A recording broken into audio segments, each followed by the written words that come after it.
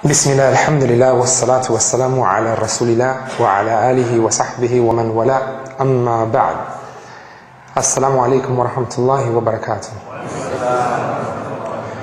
Alhamdulillah, it's, a, it's, it's really an honor to be able to spend, alhamdulillah, this weekend uh, here in California with uh, such a beautiful community. Alhamdulillah, I've been able to um, perceive a little bit of what was taking place here in Southern California, and, and Alhamdulillah, I really, um, uh, it's commendable, I would say, because going back to Houston, we have uh, tried uh, our level best to be able to, inshallah, implement some of the things that, alhamdulillah, we're seeing that are happening here. And inshallah, may Allah bless y'all, and inshallah, give y'all success in this life and the next. Um, my name is Mujahid Fletcher, and I'm originally from Colombia in South America. My parents came to this country when I was eight years old. My father was an agricultural engineer back in Colombia. He worked with an agency that was connected to the government of Colombia in regards to development of agriculture. He taught people who were illiterate in the mountains on how to plant crops and so on. And he taught people at university level. My mother, she came from, a, alhamdulillah, a good family. My grandfather was uh, in, in a very uh, honorable level, I would say, in, in, in regards to having a governmental job. And when we came here to America, I remember going to the very first school when I was eight years old. I didn't know any English, and I remember the kids were making fun of me. And I realized and I saw that a lot of what I experienced in Colombia, going to school, was the fact that over there we helped each other out, even in second grade, because I came here to go in third grade. If I didn't know something, the person next to me didn't know something, before going to the teacher, you would actually work it out on your own amongst your classmates.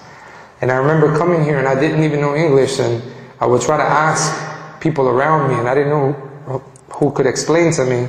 And I remember the teacher coming and, and just being upset and saying a whole bunch of things. So they put a kid that knew Spanish in front of me and, and he translated for her.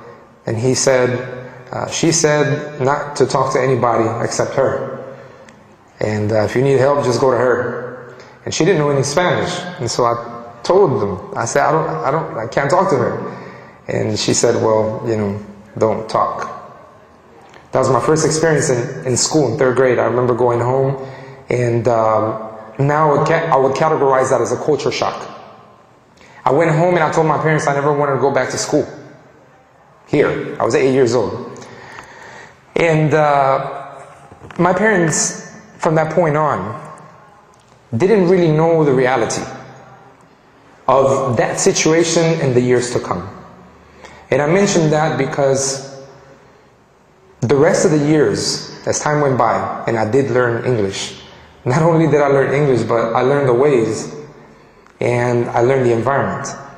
And in public school growing up, you kind of become a chameleon, you know, you blend in eventually. And then you realize what's categorized as good and you want to be better at that.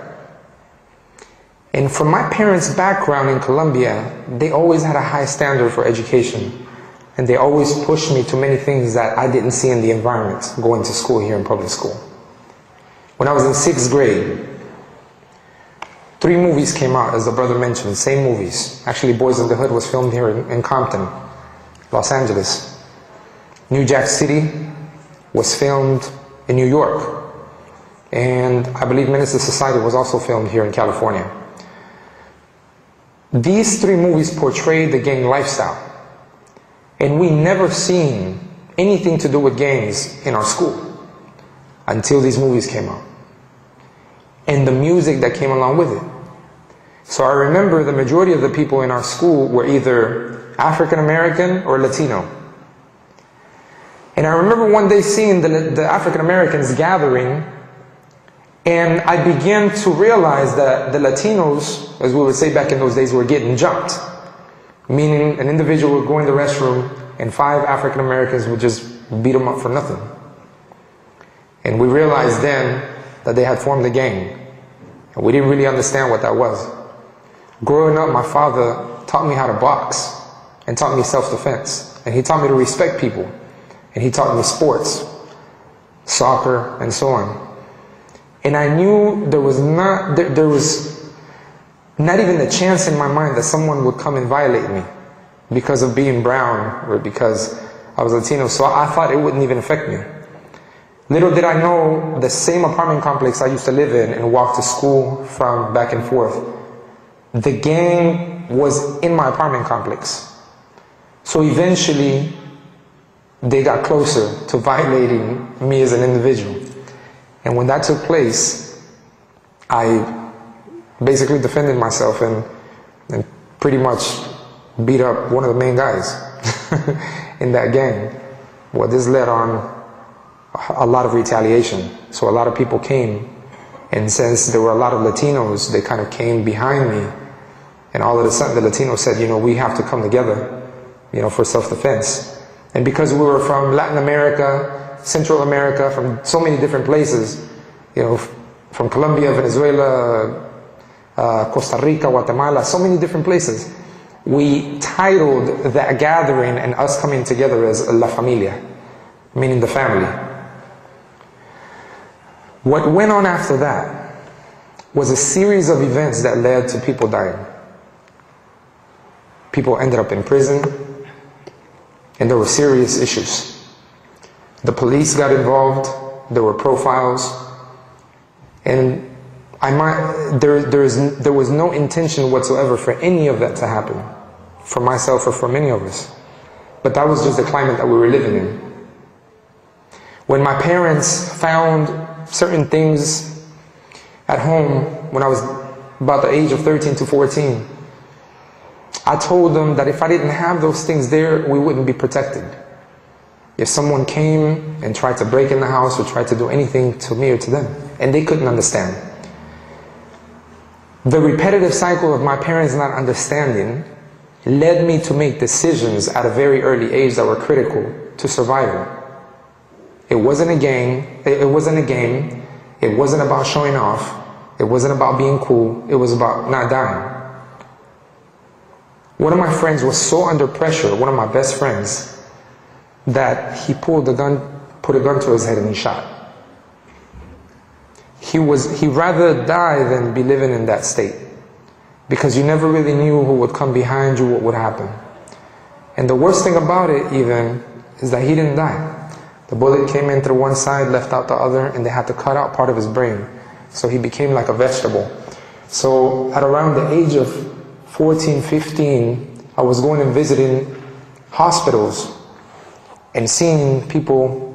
Another friend of mine lost his right eye from a shotgun blast from a, a drive-by shooting. And all my parents thought about is when is my son going to be next? People used to call my mother at 3 in the morning telling her that they were going to kill me. And all of these things were happening, and I don't understand how to this day. I was an honor roll student. I had straight A's and B's while all that was happening. Because of my father's determination, my mother's determination for me to uphold the best level of grades. Eventually, at the age of 16, where there was an attempt, after several attempts basically to take my life, I basically defended myself. And by the next day, my parents shipped me out to Colombia, to South America. I hadn't been there since I was eight. All of a sudden, when I went down there, I thought, you know, if I didn't get killed back in Houston, I'm going to die in Colombia. Because Colombia, the way it's portrayed in the media, it seems like a very dangerous place. Right? Drugs and many things.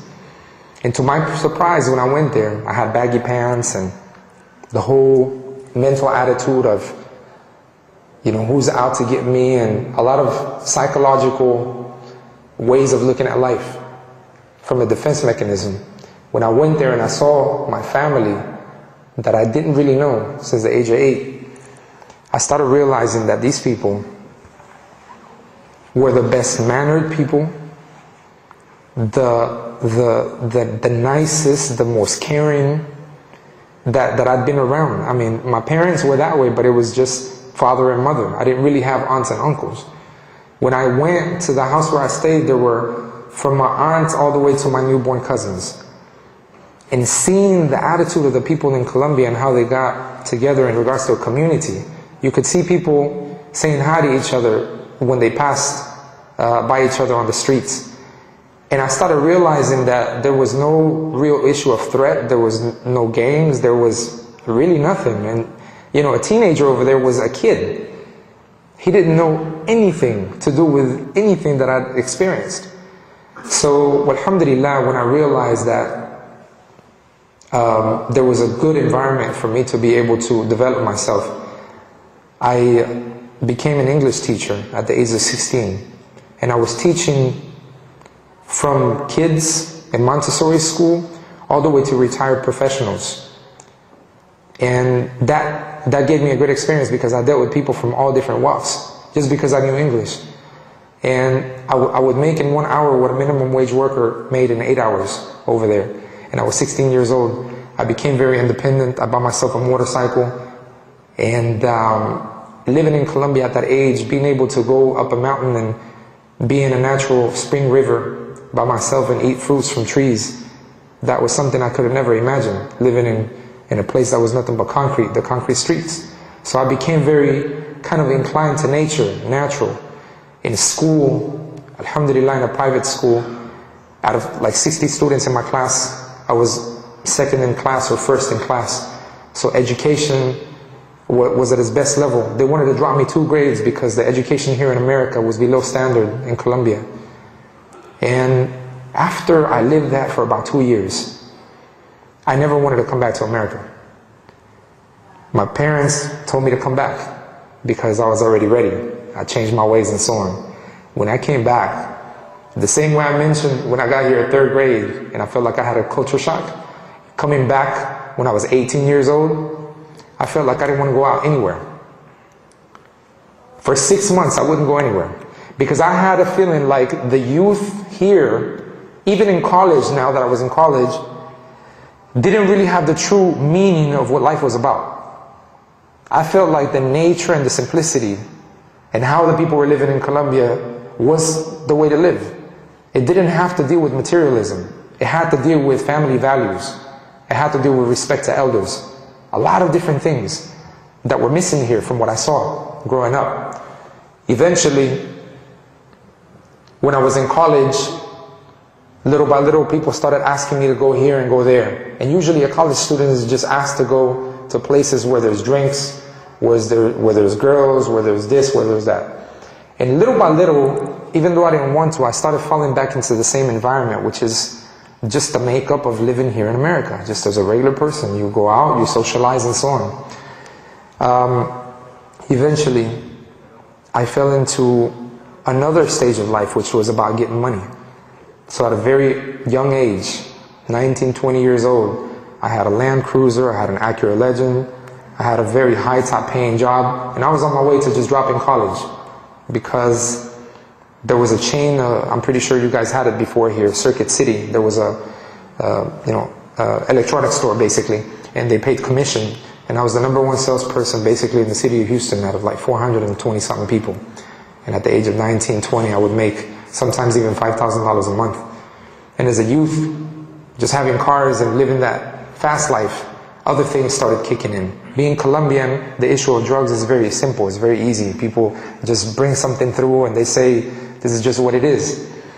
So eventually I realized that I didn't want to live that lifestyle and I was fed up. No matter how many things I had, no matter how many friends, supposedly friends, because in that lifestyle you don't really have true friends. No matter how much I had around me, I would sit back and think there has to be something else to life. This can't be it. Because if this was it, then I'd be happy and satisfied. But I'm not. So eventually, I went back. I remember telling my father I was sick of living. And I was tired and fed up, and, and I couldn't figure this out. And um, he told me that he'd been searching for something greater than this life for a while. And I'd seen him coming in and out of different religions. And all my life, he always taught me since I was little, there's only one God. I never prayed to Jesus in my life. My parents, even though they would categorize themselves as Catholics, My father had questioned the issue of the Bible many years, and he would always tell me, You find your truth because I'm seeking for mine. And there's, there's only one reality, really, is that there's one God. How you get to that one God, you find your way, I'm trying to look for mine. So I remember I went to him and I told him I'm sick of living, I'm sick of this and that, and I had my own apartment and I was I was thinking I need to go back to school and I need to get right and I felt like I want to leave back to Colombia. I didn't really know. I was at a crossroad. And subhanAllah one day I told them, I said, I want to start reading about different religions. And my father started giving me books about different religions. I remember studying Kabbalah. There was a, a Mexican guy who went and studied actually in Israel. And Kabbalah is ancient Jewish mysticism. And I began to get interested in that. There was at that time, she was Colombian, a person who I knew since I was uh, 12 years old. She seen me go through everything, and now she was also seeking for something. And we were together in this. I remember going into Buddhist temples and sitting down with the main monk and asking him, What do you think about life? What's life about?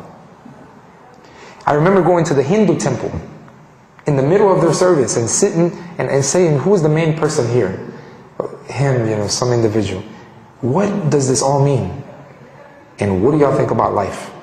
I remember going to different churches and asking about the same verses in the Bible and getting different responses.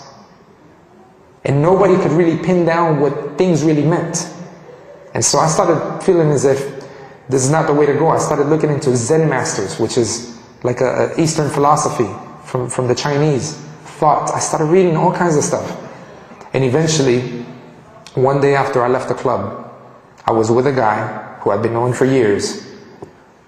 And he held the liquor he was drinking in his hand and he said, I can't believe I'm still drinking this. I said, What do you mean? Because I've always known him to be that way. And he said, I can't believe I'm still drinking this after having gone to Mecca. When he said that, I felt the level of concern was different. Something about him feeling guilty intrigued me. I said, What is Mecca? He said, Mecca is where the house of God is. I said, Hold on, you know, I, I, I read on religions and philosophies. There is no religion I've ever come across that says that God has a house on the face of the earth. And he said, No, no, no. This place is a place of worship. It was built by Abraham and Ismail. I said, Those are prophets of God. And he said, Yeah. Islam is the true religion of God. That simple statement was so clear and it rang true. Even though I didn't know, but it was direct. Islam is the true religion of God. Then I said, Listen, everybody says their religion is true. And he said, Look, if you want to talk about this, I'm not the person, right? Because he's not living it. He said, You have to talk to my mother, who used to be a Christian nun in Italy. And after leaving the convent later on and marrying my dad, she accepted Islam. She talks to people nowadays that have doctorate degree in divinity, and they have become Muslim. And many people are becoming Muslim.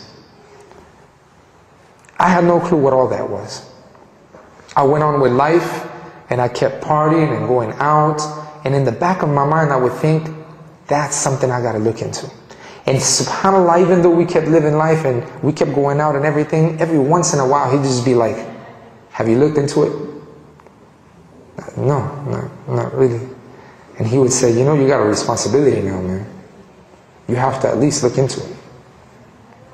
And it, it would just hit me. I mean, this would be like sporadic every three, six months that he would say something like this. And eventually, I remember wanting to go and speak to his mom, and I was intoxicated, and I went to his house. And he said, Man, you can't talk to my mom like that, man. You gotta come here clean. You can't come drinking stuff, you know what I mean? I said, Okay. So one day I came clean. I remember his mother come in and she was covered. And I remember extending my hand. How you doing, ma'am? She said, she didn't shake my hand. I said, oh, she don't like me. I've been hanging around with her son all, all these years. She knows what we're about, right? So it's interesting because she said, you want to know about Islam? And she was very happy. Did you want to know about Islam? I said, well, I guess, you know, I just read all kinds of things. And she said, let me ask you this. Do you like science? Do you like mathematics? When she asked me this, I didn't know what that had to do with religion at all, because we, we don't make the relationship. But Alhamdulillah, because I studied trigonometry and physics in Colombia, I gained an appreciation for these science. And I said, yeah, I mean, I was, you know, yeah. And she said, I want you to see this video. And she put me in a room and she turned this video on from Jamal, uh, Jamal Badawi. Um, and it was the Quran and modern science. When I sat there, I was like, God, this guy's smart, man. God, he speaks so articulate and he has good manners. I could see a lot of different things. And when hearing about the whole issue of how the embryo is formed in the womb of the mother and, and, and certain things about the solar system and, and uh, the, the seas not being mixed, not mixing, so many things I was, I was shocked. But at the same time, I didn't understand much of what that had to do with God, other than the fact that He created this, which I already believed. And she gave me a Quran, alhamdulillah, and I began to research and read the Quran. I remember going and studying computer programming. And computer programming is nothing but code. And I remember having a hard time sometimes with coding. And I remember the only thing that would clean my mind and get me thinking clearly again was when I picked up the Quran and would read for like two or three minutes. And I would come back and open and everything would be clear. I said, there's something about this book. Eventually, as I kept going out, partying and all these sort of things, we got in a big fight with a whole bunch of uh, security guards outside of a club. It was like 20 against 20. And I was on top of a guy hitting him, and a policeman came behind me, and with a flashlight made out of iron, he broke my head open. He fled the scene. I couldn't even get a badge number. It was police brutality. I tried to sue, but um, things just weren't right. I knew I knew I had to get my life straight. And then when I was thinking about embracing Islam and really feeling like I really liked it, I wanted to go to a mosque. So I went to a mosque and Alhamdulillah, the people, I saw the good in them when I went in. They weren't judging me. They weren't looking me up and down. Who are you? Where do you come from? What are you about? And they, they were just very cordial. You know, how can we help you? Please sit here. What do you need? And so on. And I began to ask questions. And over a period of like one year, I would go back and forth with this one imam, almost like debating with him. Like, what you're telling me right now doesn't make sense because X, Y, and Z. Right? And he'd be like, well, look into this and look into that, and you may consider this, may consider that. So I would run back, research whatever he said, then come back. Almost like a year, going back and forth. In the midst of thinking, like, you know, I'm just going to keep going on with my life, I flipped over on my car doing like 130 on the freeway. I flipped over, and my sunroof was open. So when the sunroof was open, it ended up being on the concrete. So a lot of the sparks that were coming out and the sunroof being right there, if my head would have gone there, I'd be finished. Done because the, the whole car smashed. I, without thinking, put my elbow down and I flipped myself and stood on one hand and then grabbed my other friend's head as it was about to go in that hole. As we were sliding 130 miles per hour down the freeway upside down. I remember looking, like, I, I was just saying, it's okay, it's okay, it's okay, it's okay, it's okay, all the way until it stopped. And when it stopped, I remember looking out through the back rear window and I saw like this bright light and all these boots of people coming to the car. And I said, this is it. I'm finished. I thought I'm done, I'm, you know, I'm dead, right? You see this sort of things in the movies, like someone, subhanAllah, the bright light was from the construction that was being done on the freeway, like that big bright light, and the boots were from the construction workers. I felt like I, I, lost my life. But subhanAllah, when, when I crawled out the back and I saw that I, I just had a big scrape and, and that was it, I even came out without a shoe. I realized right then and there, I, I have to get right with God because I'm to die. I felt like I was going to die very soon. And it was it's too many signs, too quick, and it was happening. And so I remember being at a, at a graduation in the masjid when um, some people graduated from studying Arabic or something. And I was there and I was looking at the environment and so on. And uh, I had had my run-ins with some certain Muslims like before. I, I, I think I was going to embrace Islam before, like six months before, But I was in the masjid and I remember praying, making the salat and feeling like, you know, I want to see what this is about. And I remember a Muslim who had been seeing me studying it. He came up to me, he said, so did you embrace Islam? And I said, well, not, not yet. And he said, well, why are you praying? I said, I just, I want to pray. you know? And he was like, but you, you know, if you don't embrace Islam, you're going to hell. I said, what? I said, man, you don't even know me, man. That set me back like six months. Because of the, you know, the, the, the attitude. I, I felt like, and, and certain things that I would see from Muslims, I would ascribe that to Islam and I would think, if this is a true religion, that individual wouldn't be doing this. If that was a true, I remember a guy smoking a cigarette in front of me trying to tell me about Islam. I said, tell me where it says that in the book. Because I've been reading this book. And he turned the cigarette off and said, man, if you become Muslim, you'll be a better Muslim than me. God. You know, and that to me was too contradictory. And I said, it can't be the truth because if it were the truth, people wouldn't be acting like this. And that, that set me back. I was studying Islam, like trying to find out where all this stuff was and I couldn't find it.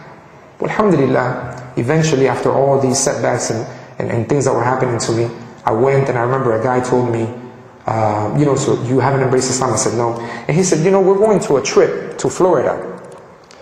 And it only costs like $80 and we're going to be there for three days. In the middle of like 3,000 Muslims. I said, really? And you know, I love, I love traveling. And uh, he said, yeah, you want to come? And I said, yeah, why not? And I was the only non-Muslim.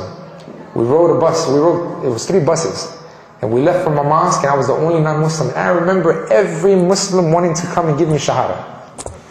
Every one of them wanting to come and tell me about not to pray to Jesus. And I would never pray to Jesus. And I couldn't understand why people kept coming. And I kept saying, listen, in the Quran it says that there's no compulsion in religion, right? Don't come impress me. It's whenever I want to. Oh, but brother, listen, listen I've been told I'm going to go to the hellfire. You understand? I have my situation with God and that's how I want to keep it. Right? SubhanAllah, in this gathering in Tampa, Florida, an individual brought another individual by the arm and this guy was literally crying. And he said, this guy here is going to talk to you.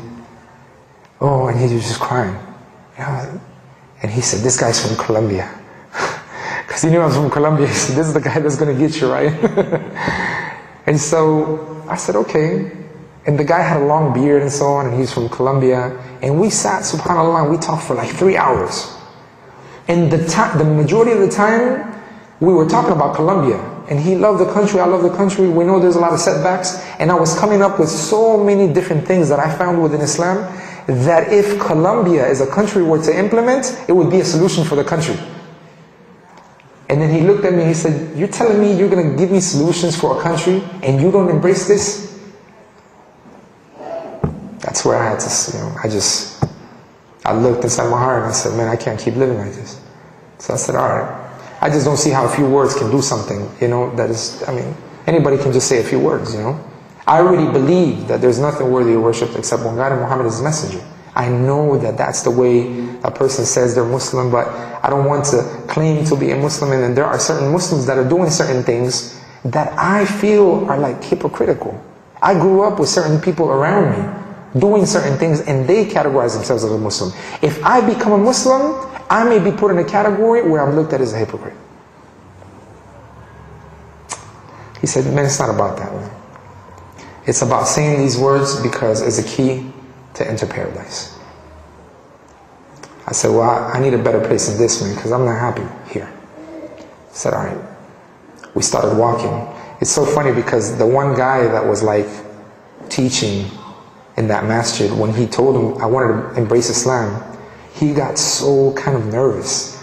Like, just give him, give him shahada over there. He didn't want to do it in front of the people, and I couldn't understand why. I was like, and I said, do I have to do it in front of the people? And the brother was like, no, no, but it's good, it's good.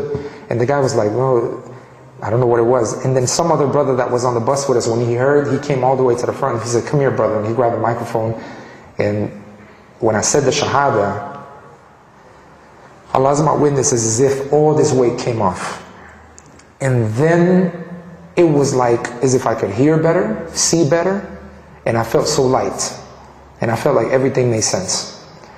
And then all these strangers lined up, dressed like in pajamas, and you know, from different colors and speaking different languages and chewing on a little stick.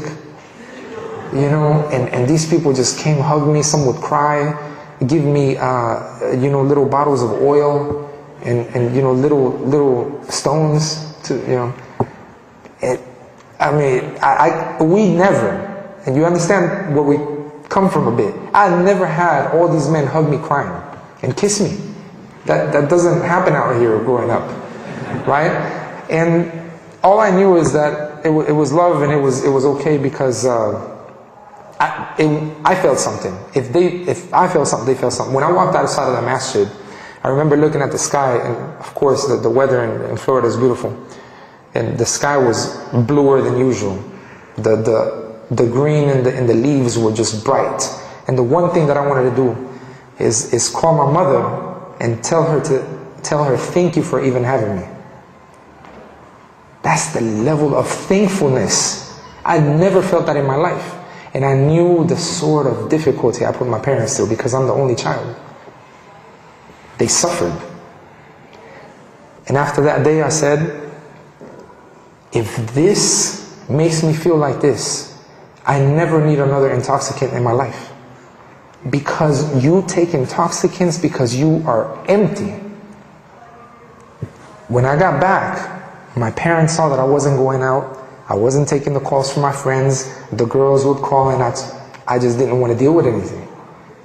And they were like, you left on this trip and came back brainwashed. You're so peaceful, it's scary. What's wrong with you? What did they tell you? What did they do? You know, like I, I joined some cult or something. And they knew I was looking into all kinds of stuff. So they were like, we don't know if he's spinning. I mean, he may be going crazy or something. And I was like, you know, all my life you've been telling me, you know, why do I, you know, why do you always have to go out? Why do you have to be drinking? Why do you have to be staying out late? And now I'm not doing that, and now I'm crazy. That's weird. I don't, I don't understand that. Alhamdulillah, my father, because he'd been searching, I told him, what I found is worthwhile that you look into it. Three months later, he accepted Islam. My girlfriend, when I get, came back, she knew she wasn't my girlfriend because she was also looking into Islam. And she knew a Muslim, if he's serious or she's serious, they marry. They don't play all these games. And as soon as I got back, she looked at me and she said, I respect what you did, you know. And a, a week later, she accepted Islam. And a month later, we got married. Alhamdulillah. Some of the gang rivals, people that I really, I mean, we were out to kill each other. Some of them have accepted Islam. Some of my friends that were in the gang, one of my best friends that I knew a certain night when there was an attempt on my life, if he would have been there, he would have shot somebody. Because I personally shot, alhamdulillah, I didn't hit someone but he would have shot and there may have been some, some casualties. He accepted Islam. He has five kids now. He's a Muslim. People like my little brother-in-law at the age of 16 embraced Islam. My mother-in-law embraced Islam. My wife's aunt, before dying from cancer, embraced Islam. My mother embraced Islam and on and on and on. I've seen, Alhamdulillah, many people embrace Islam. My cousin just embraced Islam about, about a month ago. I went to Colombia to visit for the first time with my daughters. I have a four and a half year old daughter and a two year old daughter. I went back to visit in Colombia. And just in our visit to our family members, 14 people accepted Islam. And some other friends and people that we knew. The project Islam in Spanish that was briefly touched upon. Inshallah, I, I, I recommend that you guys come out tomorrow. I believe it's after 1 o'clock, from 1 to 5, 1.30 to 5.30 to 4.30. Okay, we have a uh, da'wah workshop. And don't think it's an academic uh, you know, approach to da'wah. It is a very simple approach to da'wah based on what we experienced. Because we went through a trial and error to get where we're at. It's not easy for people to accept Islam, find their place in the Muslim community. Alhamdulillah, be able to go overseas. I was blessed with the ability to have gone, alhamdulillah, and studied uh, in Egypt, especially the Arabic language, the Quran. It, after going through all of this and dealing with people on the ground, our family members, after September 11th, Brother Isa and myself were put in front of the cameras. You know, I embraced Islam three months before September 11th. I remember three months later as a new Muslim standing in front of a church, in a church, 500 people congregating and telling them about Islam. The sort of response that happened after September 11th made my development quick. Dealing with people of knowledge, alhamdulillah, and being able to ask questions.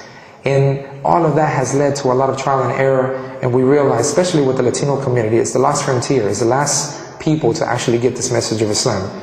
Due to the, uh, the issue of language, we came up, alhamdulillah, with a solution and we started making audio-visual material. And our material has gone all over the world now. Our website is the number one website with audio-visual material with over 300 audios, more than 300 videos. We have a television show in Houston on a weekly basis. We have an online radio station. And all of this, you'll hear more in detail of why it happened, but really it happened because of my dad. He pressed me to make that material because he said, how can Islam be universal and there's nothing in Spanish? How could the Muslims have lived in Spain 800 years and there's no books left? And his whole challenging, and due to the fact that I studied multimedia, he said, if nobody else did it, then you have to do it. And alhamdulillah, we've done it together. We worked. And in fact, my father, we use his voice. He's the narrator for a lot of these audiobooks that we make.